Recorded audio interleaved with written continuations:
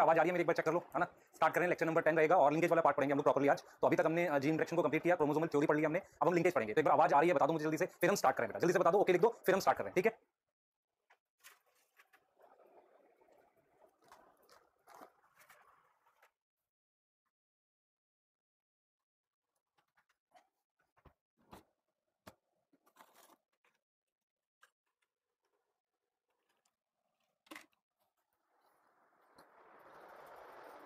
चलिए स्टार्ट करें बेटा है ना? क्या रिपीट करना भाई? आवाज़ आ रही है? जल्दी बताओ। हम्म। स्टार्ट करें। जल्दी बता दो बेटा स्टार्ट कर लें। चलिए स्टार्ट करेंगे हम लोग। बेटा यस्टरडे क्लास का रिकैप ही रहेगा, आपको मैं रिपीट कर रहा हूँ। आपने जो पढ़ा था जी इंट्रेक्शन मैंने बार बार बोला, उसकी रेशियोज आएँगी। रेशियो एग्जांपल अगर आपको कर पा रहे हो तो ठीक है ना, उसको बहुत ज़्यादा खींचने का कोई फ़ायदा तो है नहीं। ठीक है? हम्म चलिए स्टार्ट करें बेटा। चलो मैं लिंक समझाना स्टार्ट कर रहा हूँ। क्रोमोसोमल थ्योरी ऑफ़ इनहेरिटेंस को मैं एक बार बोल देता हूँ कि क्या था उसमें। क्रोमोसोमल थ्योरी ऑफ़ इनहेरिटेंस ये कह रही थी कि हमारे पास जो है बिहेवियर ऑफ़ क्रोमोसोम पैरेलल है, हमारे पास किसका जीन का। अब हम क्या पढ़ने वाले बेटा? लिंकेज टॉपिक को पढ़ेंगे, उसको मैं बता रहा हूँ। आवाज़ नहीं आ रही मेरी? लिंकेज तो बता रहा हूँ बेटा। लिंकेज बता रहा हूँ। हाँ। लिंकेज अब स्टार्ट कर रहे हैं। ठीक है, चलो लिंकेज स्टार्ट करते एक बार चैट रोक दो और फिर लिंकेज को हम पढ़ रहे हैं। क्लियर हाँ। अब अब लिंक अब आप चैट रोक दो, हम लिंकेज को पढ़ रहे हैं और बहुत ध्यान से बेटा, थोड़ा सा माइक का मेरा इशू था, है ना? क्लियर चलो स्टार्ट करते हैं। क्लियर चैट रोक दो बेटा। करें स्टार्ट हम इसमें कोई, इसको याद करना, याद कर लोगे वाला? आपको बताया मैंने? Polygenic inheritance epistasis complementary gene supplementary additive duplicate clear ठीक? आगे आ जाओ। ये डोमिनेंट एपिसेटिस भाई, मैंने ये जो बोला था, इन दोनों को ऐड करना है। इन दोनों को, जिसको सुनने में कुछ भी लगाओ, इन दोनों को ऐड करके 12 हो जाएगा। इतनी बात है। अब हम यहाँ से लिंकेज पढ़ाना स्टार्ट कर रहा हूँ मैं ये ध्यान रखना आपने क्लियर बेटा? है ना? भाई चार्ट में कंफ्यूजन कैसे याद करना यार? बोल रहा हूँ रेशियो याद करनी है एग्जांपल याद करना है, नाम याद करना है। डायरेक्ट क्वेश्चन आएगा बोल रहा हूँ, आपको क्वेश्चन आता है। What is from given example which is example of जो भी करके आता है डोमिनेंट एपिसेटिस बोलता है आपसे। तो आप मार्क कर लो। ठीक है? क्लियर सही है। क्लियर तो आपको बस इतना याद करना है। हाँ और कुछ नहीं।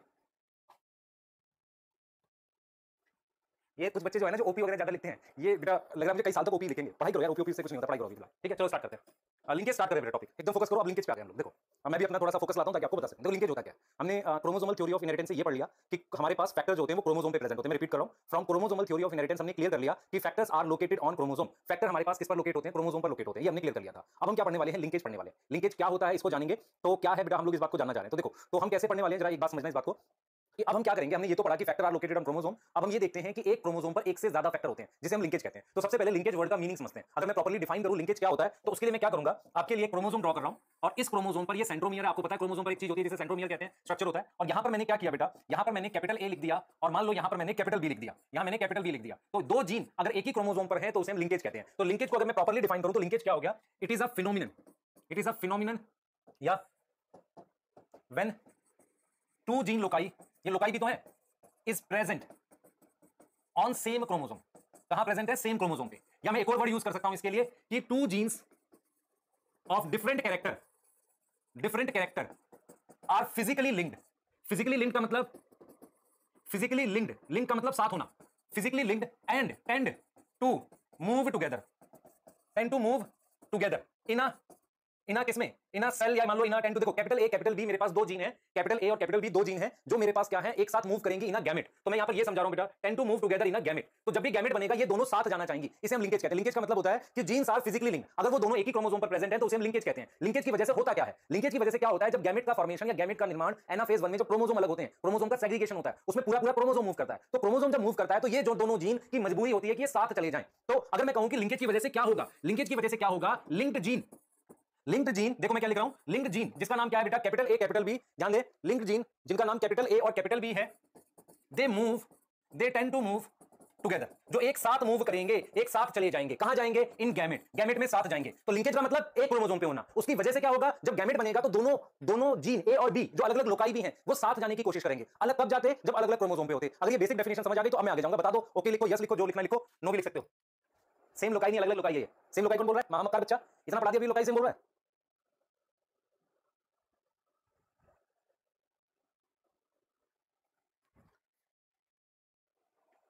इतना समझ आ गया, जल्दी बताओ। ये नॉट विजिबल पता नहीं कौन क्यों नहीं दिखा भाई? ऐप में आता है सारा। भाई एक एक लाइन करके चलेंगे लिंकेज मुश्किल टॉपिक है। आपको धीरे धीरे समझते हुए चलना है, बस इतना समझो।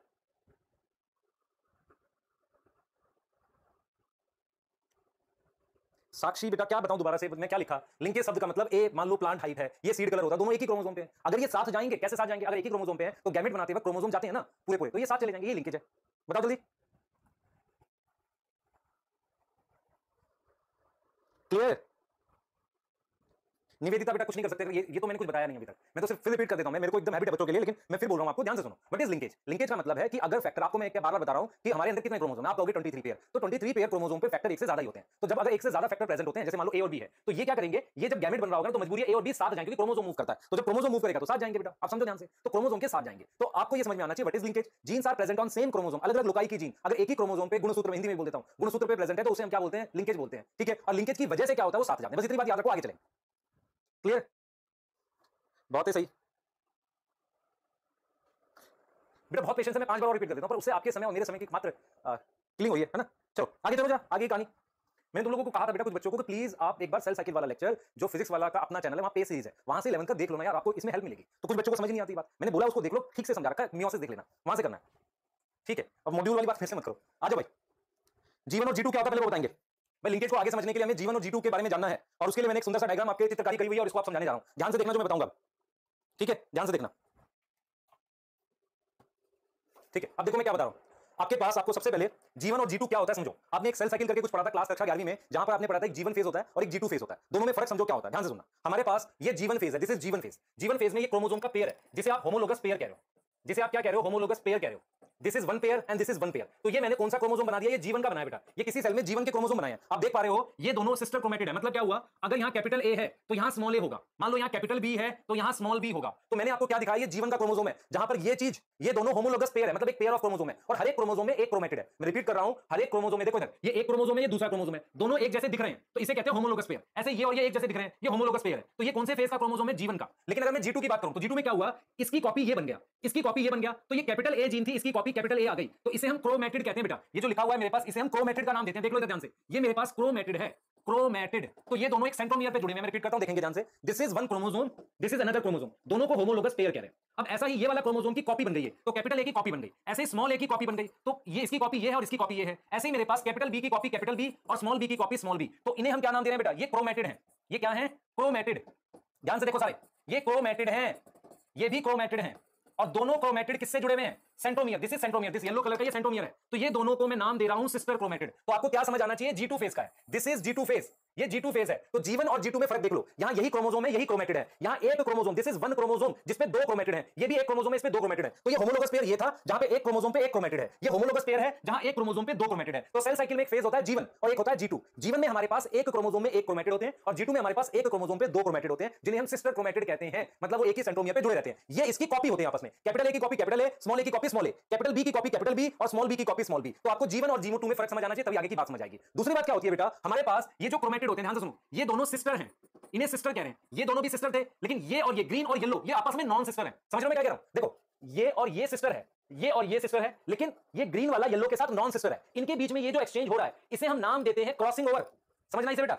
इसको हमने क्या नाम दिया? क्रॉसिंग ओवर तो क्रॉसिंग ओवर क्या होता है? पहले जी टू फ़ेज़ हो जाएगा, उसके बाद नॉन सिस्टर वाले की आम ऐसे एक्सचेंज होती है ऐसे, ये एक्सचेंज हो रही है। तो किसमें हो रहा है नॉन सिस्टर में। समझो, मैंने क्या बोला? इन दोनों को सिस्टर बोला, इन दोनों को सिस्टर बोला, और ये होमोलोगस पेयर है। होमोलोगस पेयर का मतलब एक जैसे दिखते हैं, और यहाँ पर एक ही कैरेक्टर की जीन है, एक ही कैरेक्टर की ऐसे जीन है लोकाई सेम है। इसके और इसके बीच में जो एक्सचेंज होता है, उसे हम क्रॉसिंग ओवर कहते हैं। तो अगर आपसे कोई पूछे क्रॉसिंग ओवर कब होगा? आप कहोगे पैकेटीन में होगा।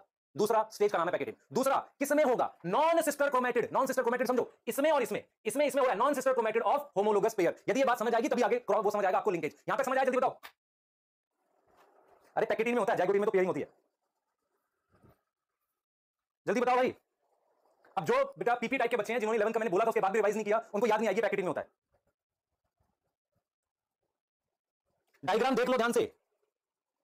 डायग्राम देख लो, फिर एक रिपीट बोल रहा मान बात को। मैंने कहा था मियोसिस लेक्चर देख ले भाई। फिर रिपीट करो, देखो। दिस इज़ दो क्रोमोसोम ये भी दो हैं और इसमें ये दोनों सिस्टर हैं, ये दोनों सिस्टर हैं। तो ये पिंक वाला, इस ब्लू वाले के साथ नॉन सिस्टर है। इनके बीच में एक्सचेंज होता है, जिसे क्रॉसिंग ओवर कहते हैं। दिस इज़ क्रॉसिंग ओवर किसके बीच में? Between non sister chromatid of homologous pair clear देख लो।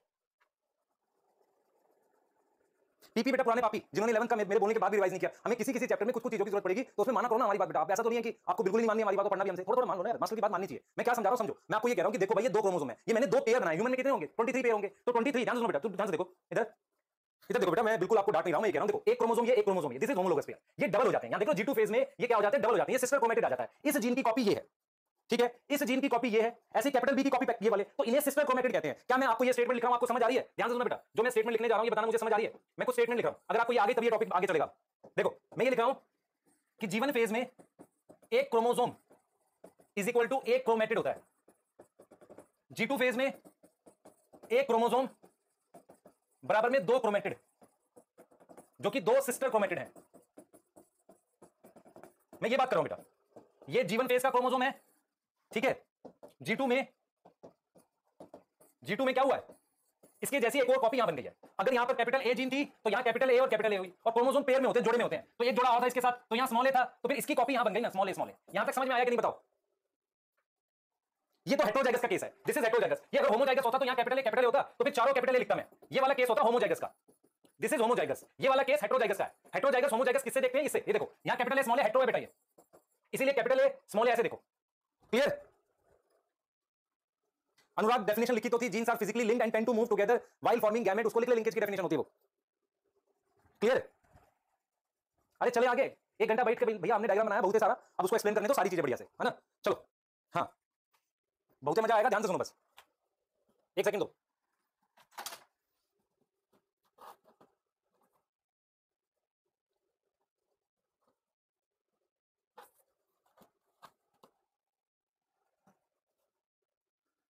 चलो अब म्यूट करो, अपने आवाज़ कमेंट नहीं करो। अब आ जाओ जरा।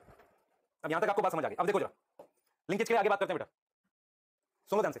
लिंकेज के लिए आगे बात करते हैं। अभी तक मैंने लिंकेज के लिए क्या बताया सुनना ध्यान से। लिंकेज का मतलब होता है कि जब अगर जीन्स एक ही क्रोमोसोम पर प्रेजेंट हो तो उसे लिंकेज कहते हैं। लिंकेज कहते हैं। फिर मैंने कहा था लिंकेज की वजह से वो दोनों साथ मूव करने की कोशिश करेंगे। ठीक है? अब आगे की बात सुनो और बहुत ध्यान से सुनना। मैं क्या बताने वाला हूँ? ध्यान से सुनना बेटा। देखो। मैं कह रहा हूँ कि लिंकेज को हम पढ़ते कैसे हैं? क्योंकि बिना क्रॉस कराए हम पढ़ नहीं सकते। जैसे किसी भी चीज़ को पढ़ने के लिए मुझे क्रॉस कराना पड़ता है। तो लिंकेज को पढ़ने के लिए हम दो तरह के क्रॉस की बात करने वाले बहुत ध्यान से सुनो बेटा। हम क्या करेंगे लिंकेज को एक्सप्लेन करने जा रहे हैं। लिंकेज एक्जेक्टली क्या होता है? उससे क्या फ़र्क पड़ता है? ये सारी चीज़ें एक्सप्लेन करेंगे आपको। अब आपको मेरी बातें बहुत फोकस करके सुनिए। मैं आपको आगे ये कहने जा रहा हूँ कि देखो भाई लिंकेज को हम कैसे पढ़ते हैं? दो तरह के क्रॉस से पढ़ते हैं। अगर मुझे करना है तो। एक हमारे पास टेस्ट क्रॉस होता है और एक नॉर्मल मतलब सेल्फिंग करते हैं डायहाइब्रिड क्रॉस तो हम क्या करते हैं? लिंकेज को हम दोनों तरह के क्रॉस से पढ़ सकते हैं। एक हम पढ़ सकते हैं टेस्ट क्रॉस से।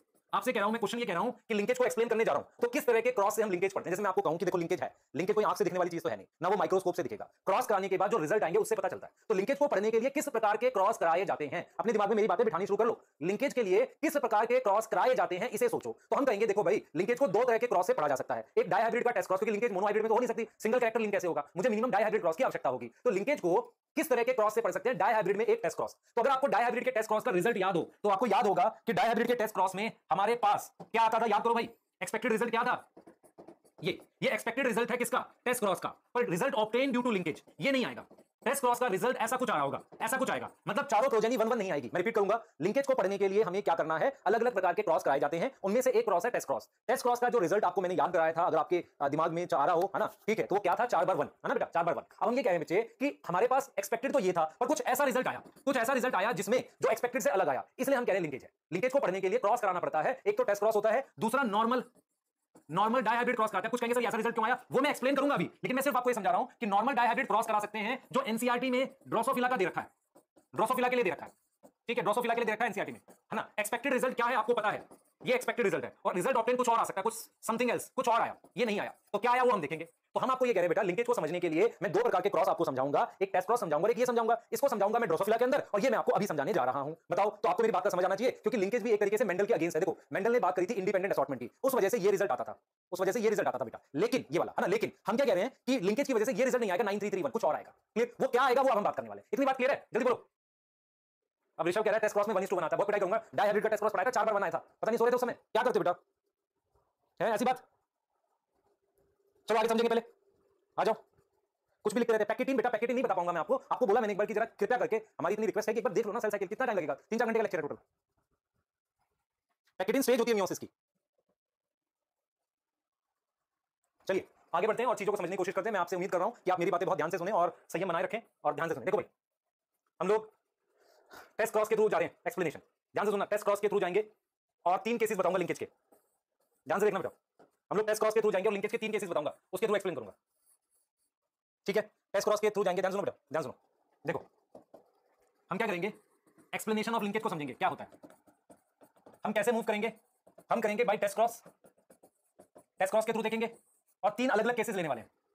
केस वन में मैं आपको ये कहूँगा कि लिंकेज नहीं है। देखो, आपको मैं अगर ये कहूँ कि लिंकेज है तो ये हुआ, लेकिन उससे पहले मैं आपको ये भी तो बताऊँ लिंकेज नहीं है तो क्या रिज़ल्ट आते हैं? समझ में आ रहा है मैं क्या कहना चाह रहा हूँ? मैं आपको तीन अलग अलग केस समझाऊँगा, पहला समझाऊँगा लिंकेज एब्सेंट है। लिंकेज नहीं है।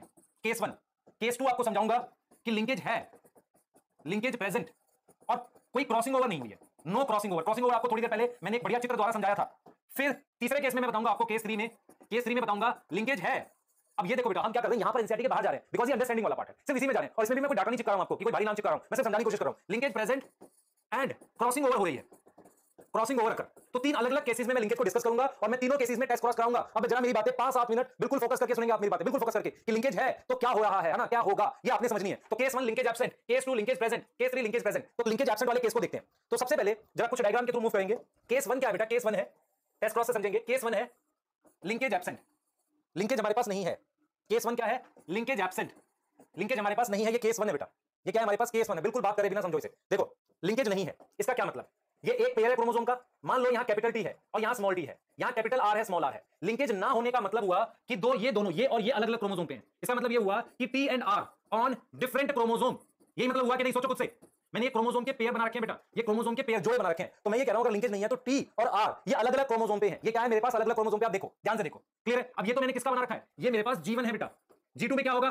Capital T capital T small T small T capital R capital R small R small R ठीक है? अब मैं इसके गैमेट बनाता हूँ। देखो सिंस नो लिंकेज अगर लिंकेज नहीं होती है तो इंडिपेंडेंट असॉटमेंट होती है।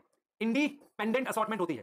समझने की कोशिश करो बेटा, मैं क्या कहना चाह रहा हूँ? मैं ये कह रहा हूँ कि लिंकेज नहीं है, इसका मतलब ये हुआ कैपिटल टी और कैपिटल आर अलग अलग क्रोमोसोम पे है ये। उसको मैंने डबल कर दिया, ये जी फ़ेज़ बना दिया। दिस इज़ जी फ़ेज़ ये जी है, ठीक है? अब मैंने कहा, क्योंकि लिंकेज नहीं है, और आपने पढ़ा है कि इस क्रोमोसोम पेयर की सेग्रीगेशन इस क्रोमोसोम पेयर की सेग्रीगेशन पर निर्भर नहीं करती। इस पेयर की सेग्रीगेशन इस पेयर के अलग होने पर याद करो, हमने कहा था जुड़ा होता है। इनका अलग होना, पीछे वाले के अलग होने से डिपेंड नहीं करता। इसका मतलब उसे हम कहते हैं इंडिपेंडेंट असॉर्टमेंट और जब इंडिपेंडेंट असॉर्टमेंट होती है, जो मेंडल के अकॉर्डिंग बात है, जिसकी वजह से अलग अलग टाइप के गैमेट फॉर्म होते हैं। रिपीट करो क्योंकि इनमें इंडिपेंडेंट असॉर्टमेंट होगी, क्योंकि इनमें इंडिपेंडेंट असॉर्टमेंट होगी। इस वजह से हमारे पास क्या है? अलग अलग टाइप के गैमेट बनेंगे। हम कहते हैं अगर लिंकेज नहीं होती है तो इसका अलग होना, इस वाले पेयर का अलग होना, इस वाले पेयर के अलग होने पे डिपेंड नहीं करता, जिसे आप क्या लिखते हो? Independent assortment so different combination form क्या बनेंगे? डिफरेंट कॉम्बिनेशन बनेंगे।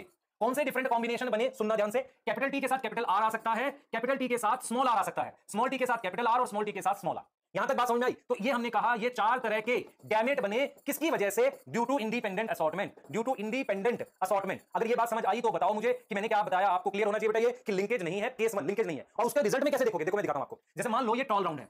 टॉल राउंड है। ये जीनोटाइप दे रखा है ना? दिस इज़ जीनोटाइप इसके कितने गैमेट बने? पी आर बना टी के साथ स्मॉल आर स्मॉल टी के साथ कैपिटल आर स्मॉल टी के साथ स्मॉल आर इसके चार गैमेट बने क्योंकि क्या है बेटा? क्योंकि इसमें क्या है? नो लिंकेज मैंने लिख दिया यहाँ पर नो लिंकेज और अब मैं इसकी टेस्ट क्रॉस करा रहा हूँ। टेस्ट क्रॉस कराने का मतलब ये रिसेसिव पेरेंट से क्रॉस करा रहा हूँ। रिसेसिव पेरेंट से क्रॉस कराया। बिल्कुल फोकस करेंगे। तो मैंने क्या किया? टॉल राउंड जिसके चार प्रकार के गैमेट क्यों बने? क्योंकि इंडिपेंडेंस असॉर्टमेंट हुई। और इसको मैंने टेस्ट क्रॉस कराया रिसेसिव पेरेंट से जिसका एक ही गैमेट बनेगा। तो मैंने कैसे लिखा देखो? मैंने लिखा capital T capital R capital T small R small T capital R small T small R और यहाँ पर मैंने क्या लिखा बेटा? ये small T small R fill कर दिया यहाँ से। इसके गैमेट लिख दिए। तो मेरे पास जो प्रोजेनी आई, मैं नाम लिख रहा हूँ देखो। ये टॉल राउंड आई। और ये कितनी आई? ये डॉट रिंकल्ड आई। टेस्ट क्रॉस में ये आएगा ना? ये टॉल के साथ क्या आ गई? रिंकल्ड और डॉट के साथ राउंड ध्यान से फोकस करो। और ये चारों वन वन आएँगी। ठीक है, अब ये देखो क्या है यहाँ पे। This is dwarf round and this is tall sorry dwarf wrinkle अब मैं जो आपको बताने जा रहा हूँ, उसको फिर से एक बार अपने दिमाग में बिठाएँगे, फिर हम बात करेंगे। देखो explanation by test cross test cross के द्वारा लिंकेज को एक्सप्लेन कर रहे हैं। पहला केस हमने बताया लिंकेज नहीं है। इसका मतलब ये दोनों अलग अलग क्रोमोजोम पर हैं। उसकी वजह से इंडिपेंडेंट असॉर्टमेंट हुई, चार प्रकार के गैमेट बने इसमें। वही चीज़ हमने आगे स्लाइड पे दिखाई आपको कि इसमें इंडिपेंडेंट असॉर्टमेंट हुई, इनको क्रोमोसोम के रूप में पीछे दिखाया भी हमने, और चार प्रकार के गैमेट बने, वो हमने लिख दिए। और टेस्ट क्रॉस कराया, दो इसके बने, वो लिख दिए। तो tall round tall wrinkle dot round dot wrinkle अब इस रिज़ल्ट का मतलब कैसे निकालोगे, सुनना ध्यान से। यदि आपसे कोई पूछे कि पेरेंट जैसे कितने बनेंगे पेरेंट पेरेंट जैसे पेरेंट कहाँ यहाँ पर? टॉल राउंड और डॉट रिंकल ये पेरेंटल है। इन्हें पेरेंटल लेते हैं, क्योंकि डायरेक्ट क्रॉस करा रहे हैं अभी। है ना, इसमें F1 F2 की बात नहीं कर रहे। इन्हें पेरेंटल लेते हैं। तो पेरेंटल कितने बेटा इसमें? ये और ये है। तो पेरेंटल 2 बाई 4 50 प्रतिशत। रिकॉम्बिनेट का मतलब होता है, देखो टॉल के साथ राउंड और डॉट के साथ रिंकल्ड है। अगर टॉल के साथ रिंकल्ड आ जाए और डॉट के साथ राउंड आ जाए तो नई चीज़ बन गई। नई चीज़ बनने को रिकॉम्बिनेंट कहते हैं। कुछ नया कॉम्बिनेशन बनता है तो उसे रिकॉम्बिनेंट कहते हैं। तो रिकॉम्बिनेंट ये दोनों है और इसे हम क्या बोल रहे हैं? पेरेंटल बोल रहे हैं। तो पेरेंटल कितने पचास परसेंट। रिकॉम्बिनेंट कितने हैं? पचास परसेंट। तो पहला रिज़ल्ट पहला रिज़ल्ट आपने क्या फील किया वो ये होना चाहिए। अगर आपके दिमाग में रिज़ल्ट बैठा तो मेन चीज़ आ गई। आपने बोला कि इफ़ लिंकेज नहीं है इफ़ लिंकेज एबसेंट तो क्या होगी? इंडिपेंडेंट असॉर्टमेंट अकर और उससे क्या होगा?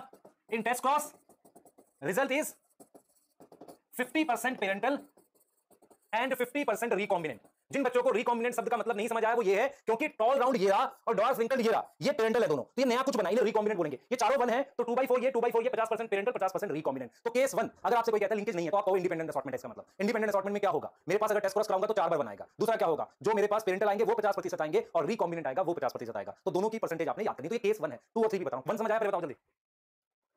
आर्यन जी कह रहे हैं बोरिंग चुटकुले सुनाऊं मतलब ये निकला कि अगर लिंकेज नहीं होती है तो इंडिपेंडेंट असॉर्टमेंट होती है और उसकी वजह से, उसकी वजह से क्या होता है हमारे पास? हमारे पास 50 परसेंट रिकॉम्बिनेंट और 50 परसेंट पेरेंटल आते हैं। ये कह रहा सुना तो सही भाई। कोई दिक्कत नहीं, जितने रिज़ल्ट आएगा, चुटकुले जैसे लगेगा वो। हाँ। बेटा, एक चीज़ और है ना, जो चीज़ मैं अगर बोलूँ, सबसे कम है, वो है समय।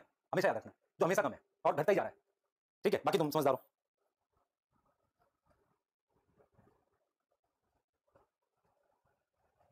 ठीक है?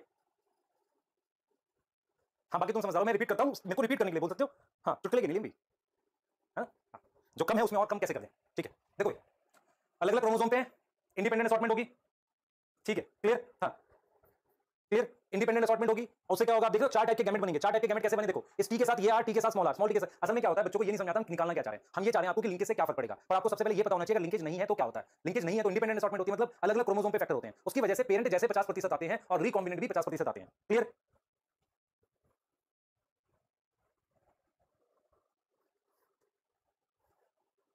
ठीक है? क्लियर आगे चले। चलो, आगे देखो बेटा केस टू की बात करते हैं। हमने कहा लिंकेज है। चलो, बात करते हैं लिंकेज है। केस टू की बात करते हैं लिंकेज बेटा चैप्टर में समय लगेगा, अभी थोड़ा सा और समय लगेगा, घबराओ मत, है ना? हाँ परेशान मत हो, सारा कराया जाएगा आपको अच्छे से। ठीक है? केस टू लिंकेज है। लिंकेज प्रेजेंट है। मान लो मैं आपको दो जीन देता हूँ कैपिटल टी और कैपिटल आर ये दो जीन सेम क्रोमोसोम पे ऑन सेम क्रोमोसोम इसका क्या मतलब हुआ?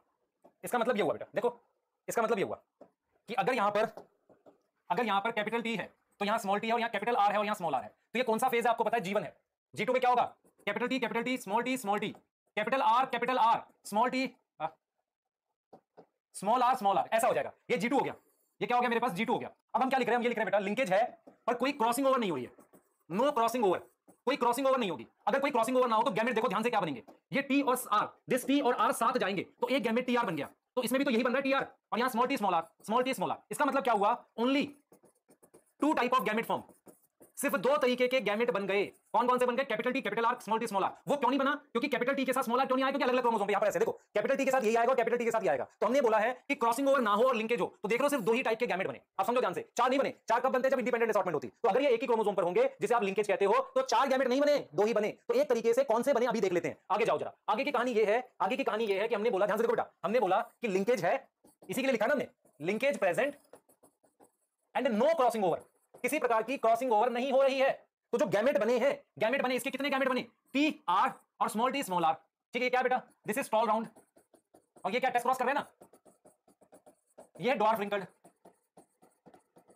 तो टी आर जो आया, ये इसके गैमेट है। तो इसके कितने गैमेट बने? दो। इसका तो एक ही बनता है स्मॉल टी स्मॉल आर वो भर दिया मैंने ऐसे। देखो, इसके दो ही गैमेट बने बेटा। इसके दो ही गैमेट बने टी आर किसके? इसके। इसके दो गैमेट बने, ये देख लो। और इसके गैमेट यहाँ भर दिए मैंने। तो अगर आप ध्यान से देखो रिज़ल्ट क्या आया? ये आ गया टॉल राउंड और ये आ गया डॉर्फ रिंकल्ड वो कहाँ गए? जो रिकॉम्बिनेंट थे। डॉर्फ रिंकल्ड तो इसका मतलब क्या हुआ? मेरे पास 100 परसेंट पेरेंटल आए। और रिकॉम्बिनेंट कितने परसेंट आए? ज़ीरो परसेंट तो हमने अपने दिमाग में ये बिठाना है कि जब लिंकेज होती है लिंकेज क्या करती है? पेरेंट जैसे गैमेट ज़्यादा बनवाती है और रिकॉम्बिनेंट वाले नहीं बनवा रही या तो अगर वो नहीं बनवा रही है तो मेरे पास पेरेंटल ये दोनों पेरेंट जैसे हैं, ये सौ प्रतिशत आ गए। रिकॉम्बिनेंट ज़ीरो परसेंट आया। इसे हम कहते हैं टाइट लिंकेज टाइट लिंकेज का मतलब कोई रिकॉम्बिनेंट आना। तो आपने ये समझना है कि यदि लिंकेज नहीं है तो चार प्रकार के गैमेट और चार प्रकार की प्रोजेनी आती है, जिसमें दो पेरेंटल और दो रिकॉम्बिनेंट दोनों पचास परसेंट पचास परसेंट अब यहाँ पर अगर आप ध्यान से देखो, हमारे पास क्या हुआ, हम लिख सकते हैं इस बात को। इन्फ्लुएंस ड्यू टू लिंकेज क्या होता है? Parental type parental type increase होता है एंड रिकॉम्बिनेंट डिक्रीज होता है। आप समझो रिकॉम्बिनेंट डिक्रीज होता है। आपने देखा कि अगर लिंकेज नहीं है तो पेरेंटल 50 था। लिंकेज है तो 100 पे चला गया। लिंकेज नहीं थी तो रिकॉम्बिनेंट की मैक्सिमम वैल्यू 50 और मिनिमम वैल्यू रिकॉम्बिनेंट की ज़ीरो तो हमेशा याद रखना रिकॉम्बिनेंट की मिनिमम वैल्यू ज़ीरो होती है। इसका मतलब लिंकेज है और क्रॉसिंग ओवर नहीं हुई। रिकॉम्बिनेंट की मैक्सिमम वैल्यू 50 होती है। क्यों? क्योंकि इंडिपेंडेंट असॉर्टमेंट में उससे ज़्यादा नहीं आ सकता। पेरेंटल की मिनिमम वैल्यू 50 होती है। क्यों? क्योंकि वो इंडिपेंडेंट असॉर्टमेंट का केस है। पेरेंटल की मैक्सिमम वैल्यू 100 होती है, जो लिंकेज की वजह से। तो हमेशा याद रखना, देखो, याद रखना भी आपने? आपने सिर्फ़ इतना याद रखना है because of linkage parental type बढ़ जाते हैं और रिकॉम्बिनेंट कम हो जाते हैं। इतनी बात याद रख सकते हैं बस। पेरेंटल टाइप बढ़ जाते हैं रिकॉम्बिनेंट कम हो जाते हैं। वो मिनिमम मैक्सिमम छोड़ दो भी फिर बताऊँगा उसे। पर हमने केस वन पढ़ा लिंकेज नहीं है। तो 50% parental 50 percent recombinant case to linkage है, और क्रॉसिंग ओवर नहीं हुई। क्रॉसिंग ओवर क्या होता है देखेंगे। तो उसमें पेरेंटल 100% रिकॉम्बिनेंट ज़ीरो परसेंट इतनी बात समझ में आई तो आगे चलेंगे। आनंद जी, काम कर लो भाई।